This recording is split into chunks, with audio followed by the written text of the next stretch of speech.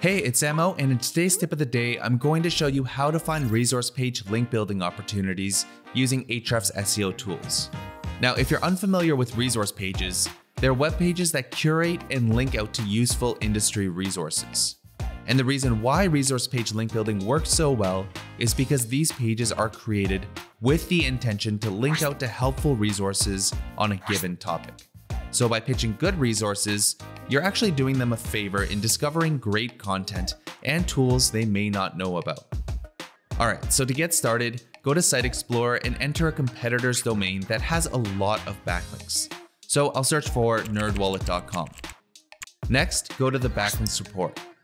Now all you need to do is enter common resource page footprints in the include box. So I'll search for resources.html and set my search to look in URLs of referring pages. And right away, you'll see resource pages that link to the domain along with their SEO metrics. We have a full tutorial on doing resource page link building at scale, so I'll link that up in the description.